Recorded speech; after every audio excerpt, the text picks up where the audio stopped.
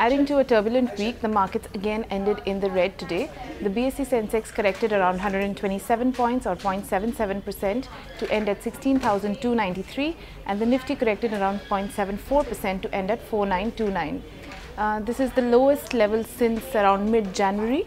For the entire week, both indices uh, corrected at least 3%, uh, which is the biggest weekly uh, uh, correction in over five months a weak Indian rupee, domestic uh, issues such as GAAR and uh, global uncertainty are what is adding pressure to Indian markets.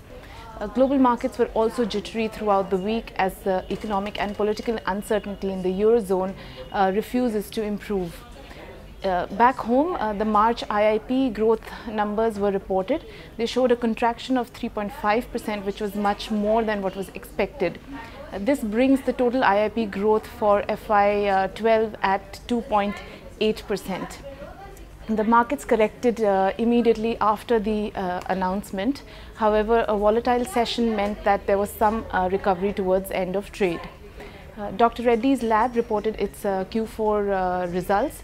Net profit growth was around 2.5%. the stock corrected 2.24% as results were below expectations. Indian Bank also reported uh, Q4 results. Uh, this, uh, the company reported a 21% decline in net profit.